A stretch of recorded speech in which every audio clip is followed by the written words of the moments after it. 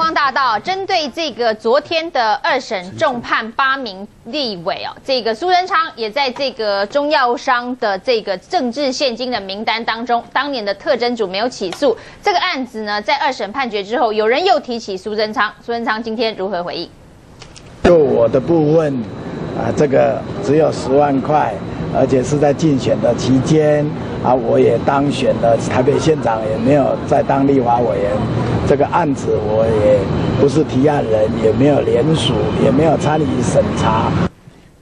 孙昌在特侦组起诉这个案子的时候，说法是说他只收了十万块，而且呢，他这个收钱的时候人已经到台北县去选县长了，并不是立法委员，而且后续呢，他也没有参与整个修法的审查跟联署，是不是因为这样，所以特侦组当时没有起诉他，金额比较低，而且呢？后来他已经去当县长，不过这个状况似乎也跟这一次被起诉而且被重判的立委林光华前立委林光华是一样的。他当时呢也是去选了新竹县县长，后续显然也没有继续的参与相关的这个修法跟联署。但是林光华刚刚的说法是说，这个中药商的这个里头的重要的干部呢是他的连金，是有亲戚关系，所以会有这样子的一笔政治现金，他觉得是合理的，因此他被重判，他也是相当不解哦。所以林光华基本上跟苏贞昌收钱以及收钱之后呢，都已经不在立法院的情节是一样的，一个两百万，一个是十万，所以十万的没有处理，两百万的就重判。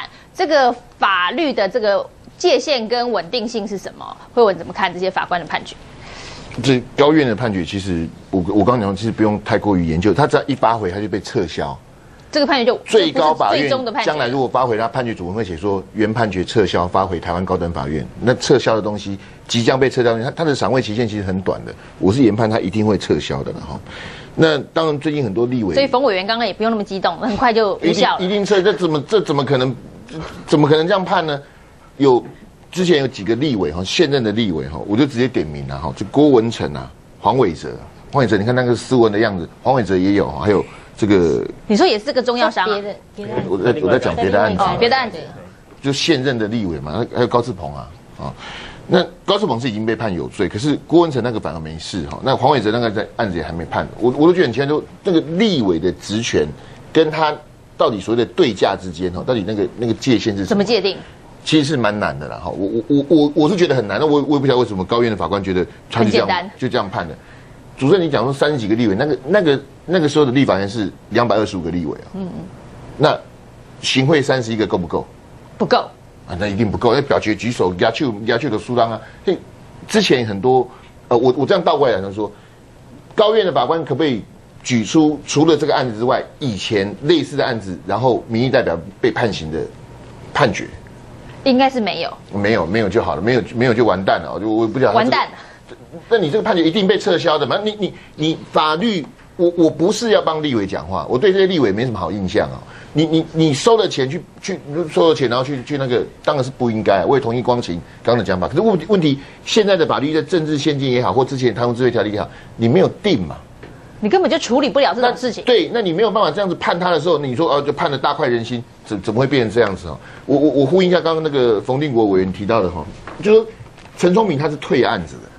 好，那总长会退案子啊？其实，其实这个其实是，就我们司法来讲的话，是蛮严。总长怎么为什么要退案子？你就退这个案子？退这个案子哈？那是不是更改了起诉的名单？好，因为名单他还可以自己改哦。他总长为什么不能改？